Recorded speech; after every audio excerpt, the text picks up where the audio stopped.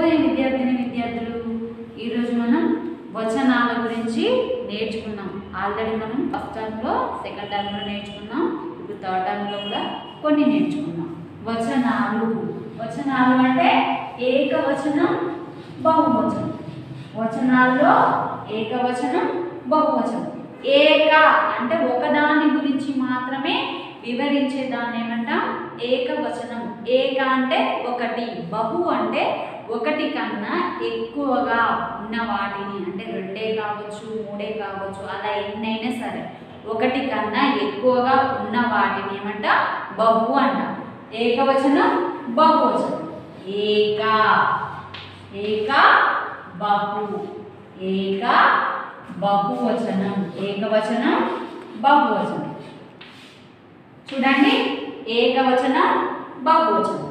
ఏకవచనం బహువచనం. ఏక అంటే ఒకటి. బహు అంటే ఒకటి కన్నా ఎక్కువగా.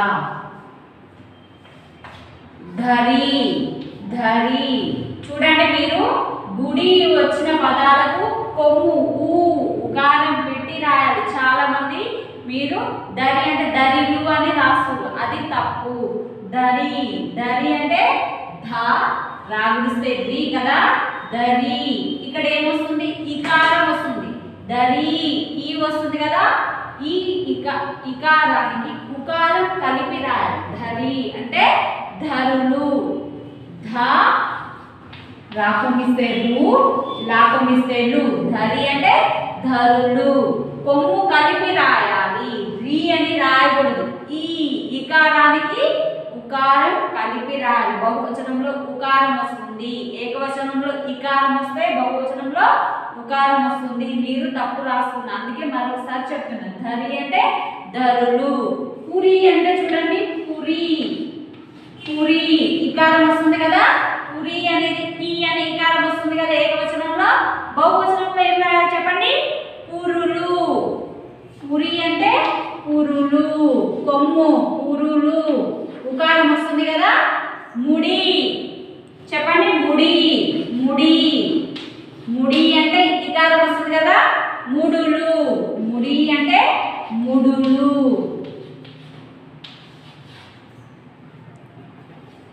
కన్ను కన్ను ఒకటే ఉంటే ఏమన్నా కన్ను అంటారు కళ్ళు అంటారు కన్ను అంటే కళ్ళు లు అలా రాయాలి కన్ను అంటే కళ్ళు పండ్లు పళ్ళు అంటే పన్ను పన్ను కదా మొత్తం ఉంటే ఏమంటే ఒకటే ఉంటే పన్ను అంట చాలా అంటే పళ్ళు అంటాం కదా పన్ను. బహువచనంలో పళ్ళు పన్ను పళ్ళు. చూడండి ధరి అంటే ధరులు మనం బావి వృత్తి పక్కన మొత్తం దరి లాగా ఉంటుంది కదా సైడ్ ఏమంటాం? దరి అంటాం. మనం ధరి ధరులు పురి పురులు. పురి అంటే ఏదైనా సరే మనం పూరి విప్పటం అని అంటారు కదా ముళ్ళు ఇలా ఇలా వేస్తారు కదా. ముడి అంటే ముడి పెట్టడం ఇలా ముడేస్తాం కదా దీన్ని ఏమంటాం? ముడి అంటాం. ముడులు. బహువచనంలో చాలా మంది రి అంటే రియే రాసు. దరి అంటే దరులు పురి అంటే పురులు. ముడి అంటే ముడులు. కన్ను అంటే కళ్ళు. పన్ను అంటే పళ్ళు.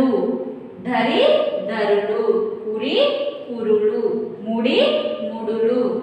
కన్ను కళ్ళు. పన్ను పళ్ళు. దీన్ని ఒకసారి స్క్రీన్ షాట్ తీసి కాయ. ఏకవచనం చెప్పండి ఒకటే ఉంటే కాయ ఒకటి కన్నా ఎక్కువగా ఉంటే బహువచనంతో ఏం రాయాలి? కాయలు. కాయ కాయలు. కాయ కాయలు. జడ జడ జడలు. జడ జడలు.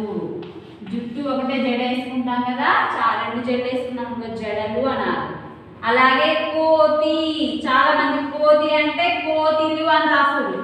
కోతి మనకి ఏమంటాం? కోతి అంటాం ఇక్కడ ఏమొస్తుంది? ఇకారం వస్తుంది. కోతి ఇకారం అనే శబ్దం వస్తుంది కదా? ఇకారానికి ఏం రాయాలి? ఉకారం రాయాలి. బహువచనంలో ఉ అనేది మనం పలకాలి. కోతులు. కోతి బహువచనంలో కోతులు. కోతి కోతులు. ఆ సంపద సిరి సిరులు. సిరి సిరులు. సిరి సిరులు. సిరి సిరులు. కాయ కాయలు. జడ జడలు. కోతి కోతులు. సిరి సిరులు పులి టైగర్ ఏమంటాం పులి కదా ఆ పులి అంటే ఒకటే ఉండదు మరి రెండు ఐదారు ఉన్నాయి అనుకో పులులు ఏమనాలి పులులు పులులు పులి కదా పులులు. పులి అంటే కీకారం వస్తుందిగా? ఊ ఉకారం పులులు. పులి అంటే పులులు. చూడండి కాయ కాయలు జడ జడలు. కోతి కోతులు. సిరి సిరులు.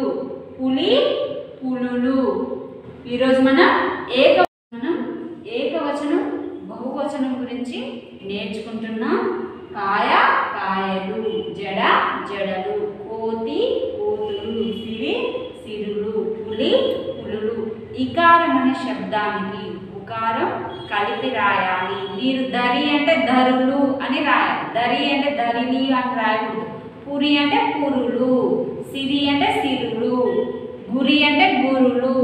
అలా రాయాలి. ఉకారం అనే శబ్దం రాయాలి. ఆ ఇకారానికి ఉకారం కలిపి రాయాలి. పలక అంటే పలకలు. గిరి అంటే ఏంటిది? కొండ. గిరి అంటే కొండ. గిరులు అని రాయాలి. గిరి అంటే గిరులు. గిరి గిరులు. గిరి అంటే ఏ ఏకవచనం చెప్పండి? గిరులు. బహువచనంలో గిరులు. గిరి అంటే గిరులు. గిరి గిరులు. పలక పలకలు. పలక పలకలు. పడవ పడవలు. పడవ పడవలు